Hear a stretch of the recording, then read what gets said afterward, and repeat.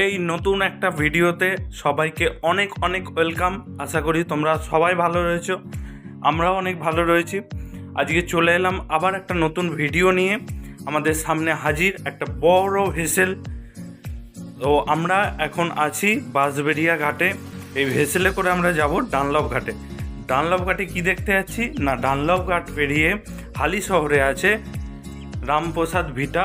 আরও অনেক দর্শনীয় স্থান আছে, কিন্তু আমরা মেনলি গেছিলাম রামপ্রসাদ ভিটা দেখতে।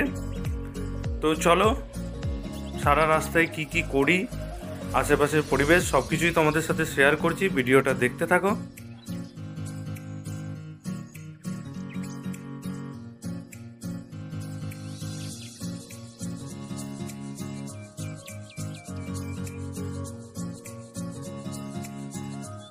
টিকিট কাটা কমপ্লিট।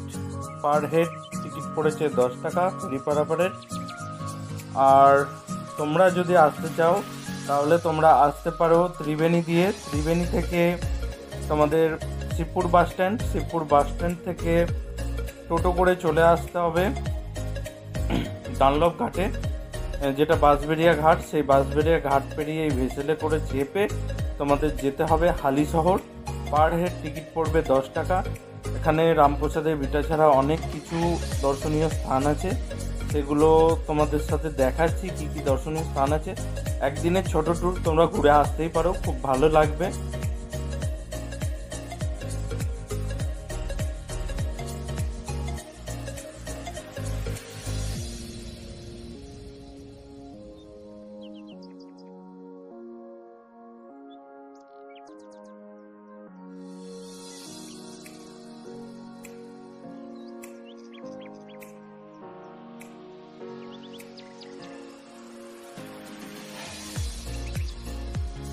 আমরা পৌঁছে গেছি, এক এক করে সবাই নামছে। এটা হচ্ছে হালিশহর ঘাট বা ডানলভ ঘাট। এটা তোমার উত্তর চব্বিশ পরগনা মানে এই ডিস্ট্রিক্টটা পড়ে যাচ্ছে উত্তর চব্বিশ পরগনা। আর সব থেকে মজার জিনিস কি, ত্রিবেণী শহরটা এমন একটা জায়গায়, ত্রিবেণীর ওপারটা হচ্ছে তোমাদের নদিয়া, আর এদিক থেকে কিছুটা এলেই ডানলভ বা হালিশহর, উত্তর চব্বিশ পরগনা পড়ে যাচ্ছে।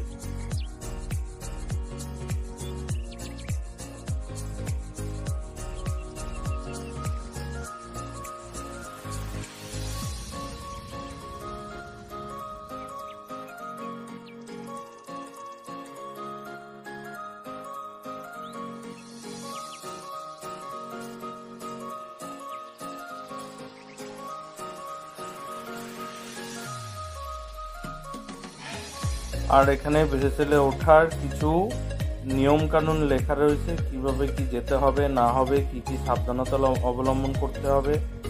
আর খুব দারুণভাবে সাজানো ফেরিঘাটটা মানে সত্যিই খুব ভালোভাবে সাজানো, পারিপার্শ্বিক পরিবেশও খুব সুন্দর। এই যে আমরা প্রায় পৌঁছে গেছি, এখানটার সামনে টিকিট চেক করার জন্য একজন দাঁড়িয়ে রয়েছেন। তো তোমাদের দিদিভাইয়ের হাতে টিকিটটা ছিল। ও একটু এগিয়ে যাচ্ছে, ক্যাদ মারবে বলে আমার থেকে টিকিটটা নিয়ে নিয়েছিল আগে থেকে এই যে টিকিট চেক করাচ্ছে। টিকিট চেক আমরা পরপর ছজন মিলে এবার পাস হয়ে গেলাম। এই যে ভালো করে একটুখানি লক্ষ্য করো, এতগুলো মানে অনেক এখানে দর্শনীয় স্থান। হ্যাঁ এটা হালিশহর পৌরসভার আন্ডারে তো অনেক দর্শনীয় স্থান আছে, এখানে বোর্ড টাঙানো আছে।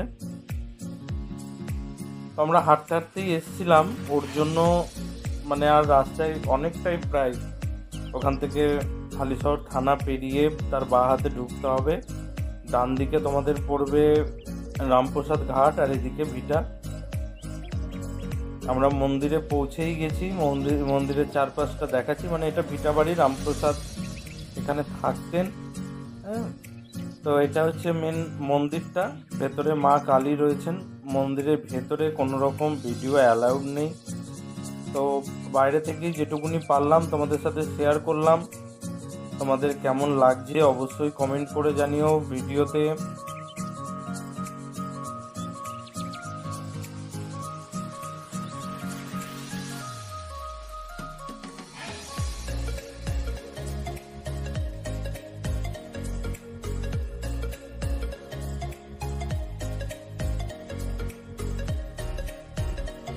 আর পাশে রয়েছে একটা বড় পুকুর। পুকুরের মধ্যে ছোট, বড় সাইজের কচ্ছপ বিভিন্ন ধরনের মাছ চারপাশে ঘুরে বেড়াচ্ছে।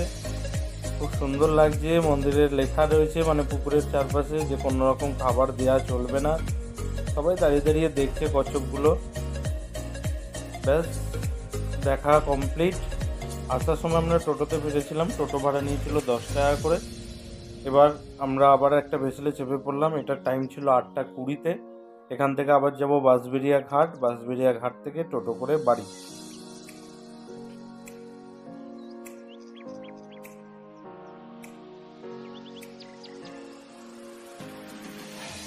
আর এই যে রিবুর যা কাজ, বদমাইশি, ওখানে কেউ শুয়ে পড়েছে। হাই করছে সবাইকে ফ্লাইং কিস দিচ্ছে। দেখো, ভেসেলটা পুরো ভর্তি হয়ে গেছিল।